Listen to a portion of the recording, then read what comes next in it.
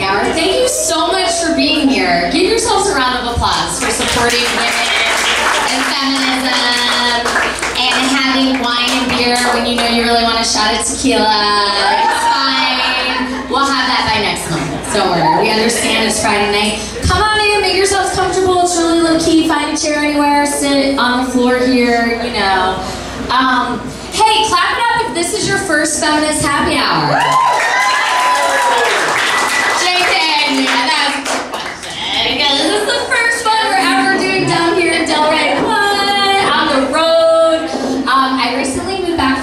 Chicago, not to brag. My brother always thinks I'm bragging. It's just where I lived. It's just where I lived, you guys. You know, what are you gonna do? The thing about Chicago, I don't know if you, who's been to Chicago? Round of applause. No, you can raise your hand. I can't see you. This is the theater. Make noise. Be loud. All right. So you know, Chicago has this thing we call winter, and it's terrible. I know y'all Floridians don't know much about that, except that no one in Florida is really from from Florida, right? Anyone from New Jersey in the house? Clap it up, y'all. Stop raising your hands. These people are like, I'm not from Jersey. I'll clap. I don't care. I could be from Jersey. What accent? That's how you know. That's how you know. I have all these Jersey jokes that were great in Chicago, but down here, you know, people are just like, whatever, I'm from there. No big deal. You know? So my name's Alicia Swizz. I'm going to tell you a little bit about myself, and then I'll try to be funny before the people I've asked to come be funny professionally. Um, I started the show Feminist Happy Hour in Chicago about two years ago because I was tired to going to see stand-up comedy and only seeing basically white dudes telling rape jokes. So, you know what? How about no? Um, still happens all the time, uh, but this show is a dedicated space to inviting women-identified performers. And uh, the way we identi- the way we define women is by you say you're a woman, and I'm like, okay, bitch, get on stage and talk into this microphone. You are welcome.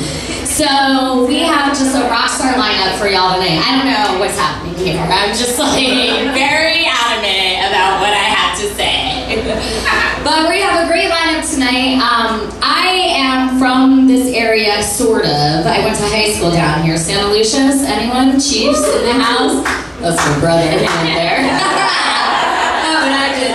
We're a little far south. Y'all are like what? Like Spanish River, like Boca High, people down here. Where's the high school in Delray? Does Delray have some? Oh, Atlantic. Atlantic Eagles. Why do I know that? Because I like the Philadelphia Eagles. What are you gonna do? That's just um, cool. All right. Well, I didn't go there. I it's still there, going strong. And uh, yeah, you know, I'm back. I just thought I wanted to be in a place where I could spend more time with iguanas, so I came down here. So far, so good. There's 8,000 that live in our yard. I'm the only one who likes them. Uh, it's fine, you know, me and the reptiles, just really getting into that third eye mindset. Um, I'm really happy to be down here though, mainly because of the weather, because again, as I was saying, Chicago, winter, it's terrible. Dating is terrible up there. Everything's worse in the city because there's just more people to like make it worse. so I started online dating when I was in Chicago. Anyone else on the apps? Clap. Yeah. Or boo. That's fine. You can boo for the apps. We're all like, oh, do I have to tell you? It's so funny how the apps differ from place to place. Like I heard that Plenty of Fish is like the hookup app down here. Anybody on Plenty of Fish in Chicago. You're like, what is that? Is that the fisherman app? I wish. They need like the Plenty of Surfers app. Am I right? Yeah. They don't have that yet. Working on it. Um, but yeah, I started online dating in Chicago, and for me, like online dating is basically like shopping at Forever 21. You know, like I'm definitely the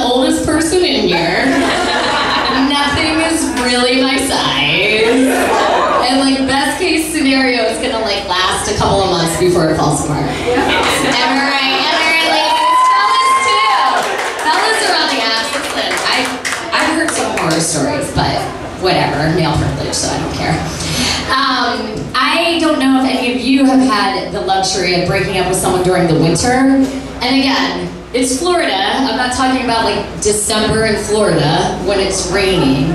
Talking about like winter months, January, late January, maybe your beau invited you over for a nice grilled cheese, tomato soup action, you were like comfortably enjoying the meal on his couch with your leg warmers, tights, and shoes off. And then he breaks the news to you, and you're like, oh, this, cool. Now it's just gonna take me 30 minutes to get dressed. I'm just gonna awkwardly look at you. Yeah, one leg warmer at a time. Hold on, let me get my snow pants. Still watching me. Of grilled cheese on my face. And then you just have to walk home in the snow. So it just doesn't get better. Yeah, these aren't jokes. This is just my life. Welcome to it. It's going great. Um, I think my worst breakup in Chicago, though, was um, this guy that basically broke up with me. I still had my pants off. It was in his bed the next morning. We broke up over the Hunger Games. Are you all familiar with this book trilogy, aka blockbuster film? That every white dude who went to film school would like to tell you doesn't matter because Battle Royale, Japanese people and big knives, and that was the real Hunger Games. You know what, fucker? Uh-uh. Have you met Katniss Everdeen? She is a triumph of both stage and script. Okay? Also, side note, one thing I realized today when I was like working on this bit, I was like, you know, I am Katniss Everdeen. That guy was like old ass Donald Sutherland, who, by the way, is a stone cold fox. Donald Sutherland, yeah, Donald Sutherland was like the old dude in the Hunger Games, and also the old dude in Buffy the Vampire Slayer, circa 1992, Kristy Swanson. Yeah, I am not talking about Joss Whedon and Sarah Michelle Gellar. I'm talking about the real Buffy the Vampire Slayer. Oh, the 80s. These movies were 35 years apart. Donald Sutherland is the same age in both films. Like, it's just Okay, so for all my younger children in here, clap it up if you know who Donald, Donald Sutherland is. They're like, um, for the young people, I know you guys know. Kiefer? Anyone know Kiefer? Yeah. Yeah, the TV show that you all know. Do you know his films of the heyday? No, you don't. That's right. That's right. Come to my class. Um, yeah, I like old dudes. It's a thing. What are you gonna do? It's not even, yeah, clap it up, fine. Don't even get me started. Like, Donald Sutherland is just one. That was actually like, I, as I was writing, writing this joke, I was like, oh, I forgot about Donald Sutherland. Because, you know, I'm like Sam Elliott. Elliott? Oh, he's, been gray since he was born. He was like born with that mustache and that gray hair and a cowboy hat on. We were like, yes, sure, dude. Jeff Bridges, another one, was was the gymnastics coach in Stick It. Who's seen Stick It? Homework, yes. Go home and watch movies about gymnasts. It's important. My favorite silver fox so far, no way, though, is King Triton. Come on, way underrated.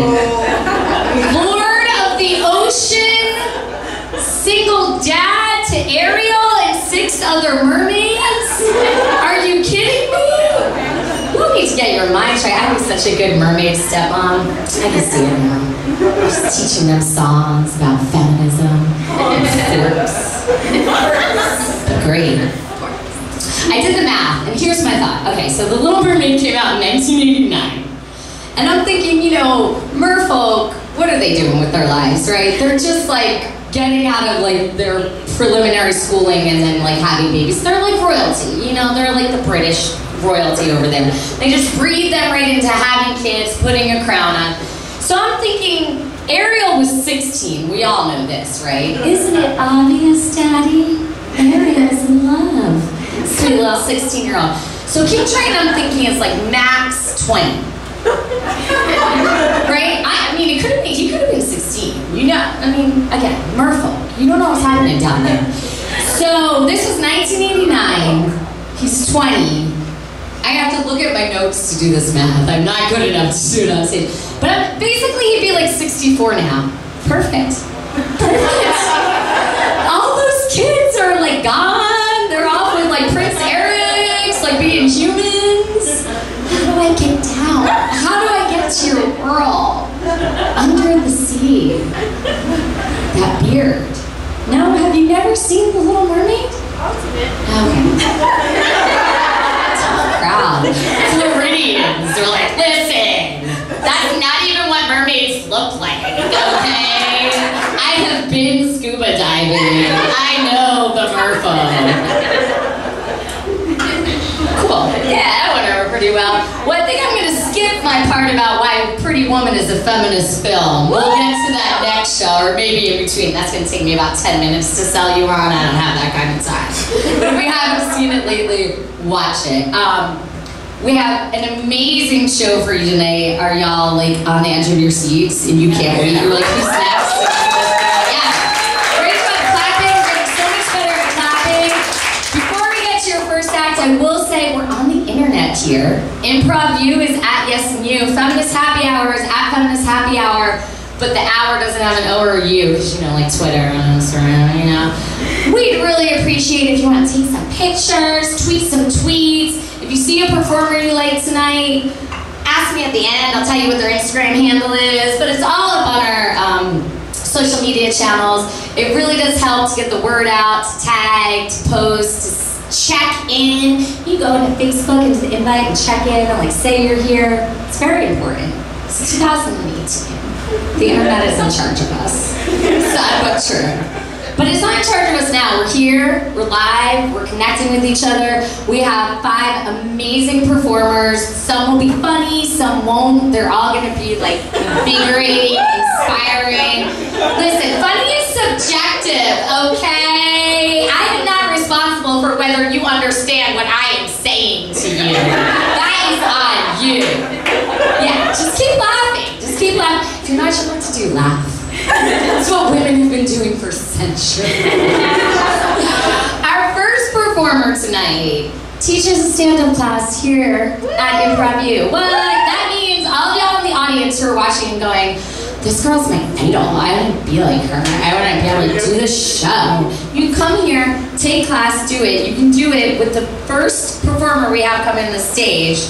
Her name is Noam Manor. She's an Israeli comic that started out in improv, made her way to stand-up. Besides performing, she runs mics, she does shows, and she teaches here. Please give a warm feminist happy hour, Delray Beach welcome Malcolm,